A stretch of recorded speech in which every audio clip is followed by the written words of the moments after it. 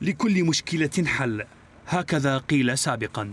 إلا الكهرباء في العراق فهي ما تزال مشكلة بلا حل.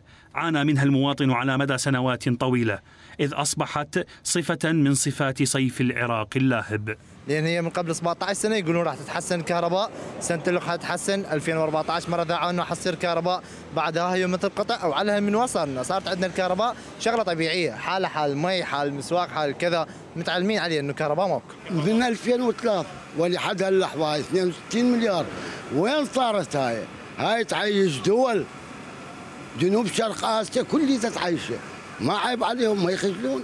مشروع ربط الكهرباء العراقية مع دول مجلس التعاون الخليجي أصبح حديث الشارع الذي يأمل أن يوفر هذا المشروع الطاقة الكهربائية التي يحتاجها العراق. وإذا ما أنجز هذا المشروع فإنه يسد حاجة العراق لاستيراد الغاز في تشغيل محطات الكهرباء. وهذا ما معناه تقليل الإنفاق بحسب مختصين. هو مشروع من ضمن المشاريع اللي تم الاتفاق عليها بعد مؤتمر الكويت سنة 2018 واللي تعاقد عليه العراق بين وزارة الكهرباء ومجلس التعاون الخليجي وحتى إلزام أنه مجلس التعاون هو اللي يكون مسؤول عن وصول التيار الكهربائي من خلال مد الكيبلات ومد الأبراج لهذا لهذا المشروع.